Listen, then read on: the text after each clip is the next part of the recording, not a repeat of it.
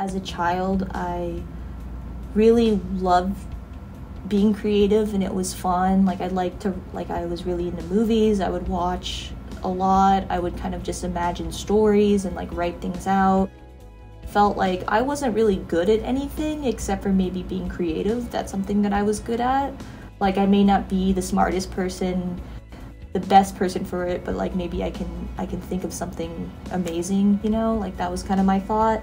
And then as time has gone on, like I've chosen to be an artist. It's it's work.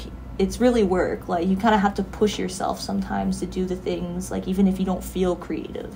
Like if you're doing big work that takes time and like things that are important like sometimes like you're not going to feel like it even but you got to push yourself i think um, and not doubt yourself.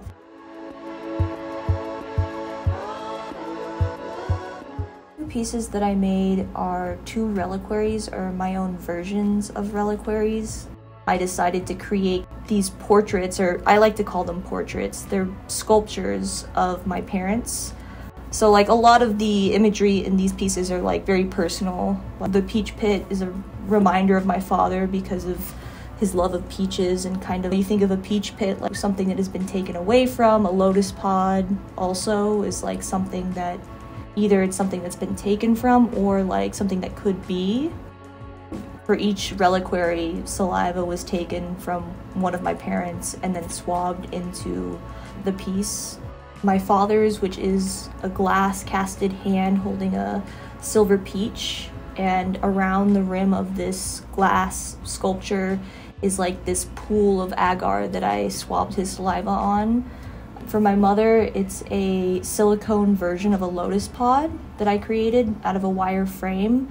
Um, each hole where the seeds would have been are filled with that same material. I kind of like prod them, I mess with them, and then I see the effect of my touch on things.